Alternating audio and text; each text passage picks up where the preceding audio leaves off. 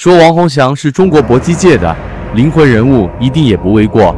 当年的王式打法，为他赢得了中华英雄的美誉。而王洪祥曾经创造二十九场连胜的记录，使得他成为了中国拳迷心目中的英雄。乔西里当时是美国排名第一，但也没有多少中国拳迷把他当回事。直到后来，他 KO 了世界排名第一的马库斯，比赛可谓是王洪祥的经典战役。王洪祥牢牢掌控全场节奏。并不和对手硬碰硬的战斗，而且不断的用恐怖的低扫腿扫砍乔西里的膝盖内侧，这样的恐怖威力，使得乔西里没有能够撑过一个回合就被 TKO 掉了。而这场比赛使得乔西里不得不休养了一年，才重新开始登上擂台。这毕竟是乔西里的这个主场，